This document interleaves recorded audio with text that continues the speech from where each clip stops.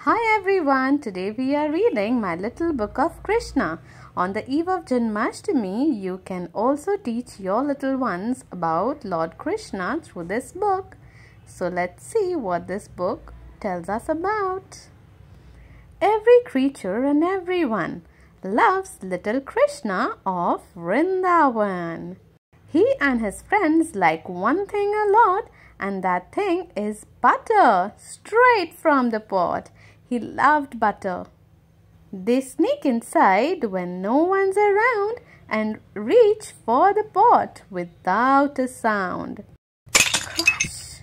The pot falls to the floor. Suddenly, Yashoda Ma is at the door.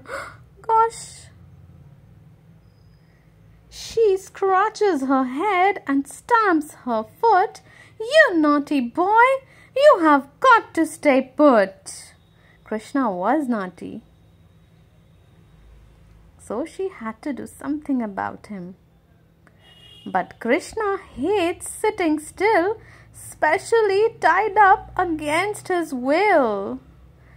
The rope around him is very tight, but he pulls and pulls with all his might.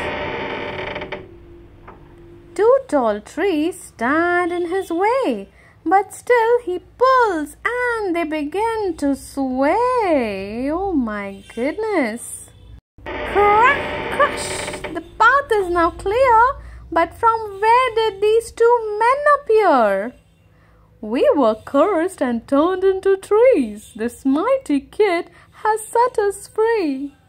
Wow, that's amazing, isn't it? You are a wonder, my son, says Yashoda with pride. But no more stealing butter. Yeah, right.